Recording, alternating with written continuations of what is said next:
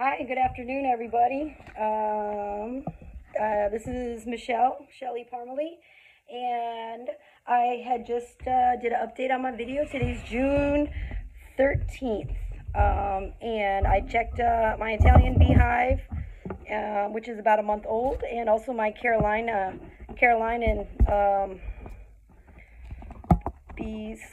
Um, for their week or 10 day update. So, which went okay. Um, it started raining, so I had to cut it short.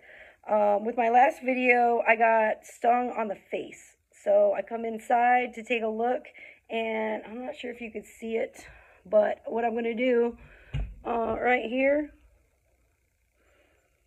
is the stinger is still in my chin and its little bee guts are also visible. Um, well, I'm not sure if you can see it on the video. Um, I could see it with my magnifying glass. So I just Googled how to remove a stinger and it says tweezers, scraping, and fingernails.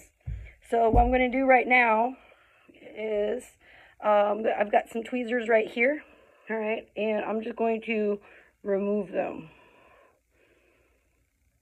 Okay. So I can see the stinger, all right? Where is it? Right here. So I'm not sure if it's going to focus on it or not. Okay. Uh, the stinger is on my tweezers, so I, I, I can definitely see it right here. All right.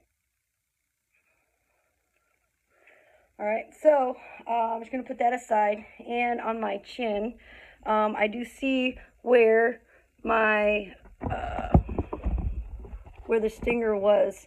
It's a little bit irritated. Um,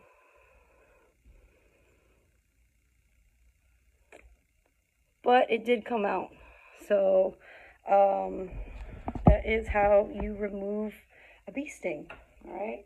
Um, tweezers, scraping, or fingernails. I was successful with the tweezers and pretty happy with it. Uh, luckily for me, I've been stung before by this set of bees last time I checked, and I had no allergic reactions. So um, that's a, a, plus on my side, and we're definitely winning. So um, thank you for this viewing, and have a great day.